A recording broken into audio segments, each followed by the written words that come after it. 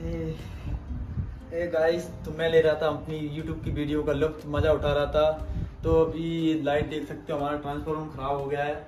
यानी कि हमारी डीपी जल गई है तो ये पंखा चल रहा है बहुत ही स्लो स्पीड में। क्योंकि डीपी गाँव में आपने देखा होगा, अक्सर जलती रहती है, इस कारण से पंखे बिल्कुल स्लो स्पीड में चलते हैं, जो कि कोई मतलब का नहीं है। इसे फॉर्मेलिटी कर रहा है, हवा तो बिल्कुल भी नहीं दे रहा, बिल्कुल भी। तो अब अगर आपके साथ भी ऐसा हो जाए, फिर आपको लगाना पड़ेगा एक देसी जुगाड़, जो कि हम बताते हैं आपको। कैसे करना है, क्या करना है।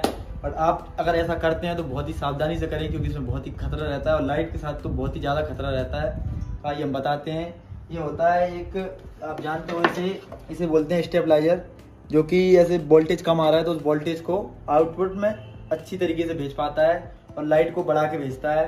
यानी कि ये कहें तो एक तरह से एक डीपी है, छोटी वाली। तो उसी पूरे उसी का काम करती है। तो आइए बताते हैं हम आपको। ये हमारे गाँव में अक्सर रखना पड़ता है हमें, क्योंकि ये अक्सर होता रहता है हमारे यहाँ। डीपी जलना बिल्कुल एक आम बात है। तो आइए दिखाते हैं। आप पहले पंखे की स्पीड देखिए। बिल्कुल नॉर्मल बिल्कुल स्लो चल रहा है पंखा। तो आइए आप, हम आपको दिखाते हैं। सबसे पहले करना क्या आपको? ये हमारे इस बोर्ड का प्लग है। इसे कि हम निकालते हैं और इसके लगाते हैं पीछे। यहाँ पे लगाएँगे इसको। लगाने के बाद लगाने के बाद इसको रख देते हैं। उसके बाद ये है हमारा इसका ये प्लग जिससे कि इसमें लाइट आएगी इसके अंदर। इसके अंदर लाइट आने के बाद फिर से इसमें वापस जाएगी। तो इसको लगाते हैं हम। इसमें। इसमें लगा दिया। आते हैं आपको हम। देखिए आप उसको हम इसमें आपको इन, इन, इसके अंदर जो लाइट आ रही है यानी कि इनपुट इनपुट देखिए इसकी। यानी कि जो लाइट हमारी डीपी के द्वारा आ रही है वो उसकी है सौ से सौ के करीब है मतलब इसकी लाइट इसके अंदर सौ के करीब आ रही है। लेकिन ये जितनी लाइट बना रहा है, अभी देखिए इतनी कितनी लाइट बनाएगा ये आप देख सकते हैं, ये 200 से ऊपर की, लगभग 250 वोल्टेज की लाइट बना रहा है, जिससे कि पंखा बहुत ही, और बहुत ही स्पीड में चल रहा है, आप देखिए। पहले पंखा कैसे चल रहा था? आपने देखा होगा कि पंखा पहले कैसे चल रहा था और अब कैसे चल रहा है।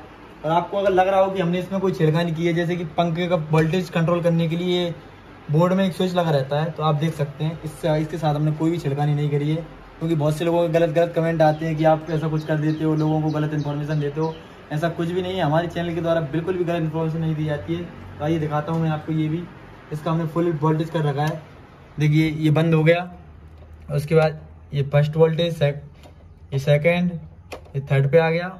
अब पंखे की स्पीड भी देखते रहिए साथ साथ में। ये थ्री उसके बाद हमने ये बढ़ा दिया फोर उसके बाद ये फाइव आप देख सकते हैं, ये हम दिखा दिया आपको, ये लगाने के बाद अब ये सेम है और इसको हम निकाल के दिखाते हैं आपको फिर से कि इसके बिना लाइट कैसे चलती है। इसको हमने निकाला और इसको निकालने के बाद वापस से लगाते हैं हम नॉर्मल लाइट में। अब इसका कोई कांटेक्ट नहीं है इसके साथ। इसको हमने निकाल के अलग रख दिया है। अब इसको लगाते हैं हम। इसको लगाते हैं। अब देखिए आप।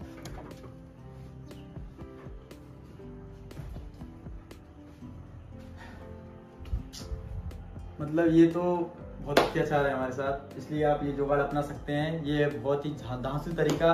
और इससे कुछ भी चीज़ आप मतलब ऐसे इन्वर्टर चार्ज भी करते हैं, हम तो इसी से करते हैं, क्योंकि स्लो लाइट से इन्वर्टर जो है चार्ज नहीं होता है। अगर आपको ऐसा कुछ करना है तो आपको लाना पड़ेगा स्टेबलाइजर। जो बहुत ही काम की चीज़ होती है।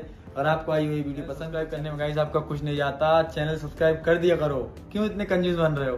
प्लीज़ तो करो चैनल सब्सक्राइब। जय हिंद, जय भारत।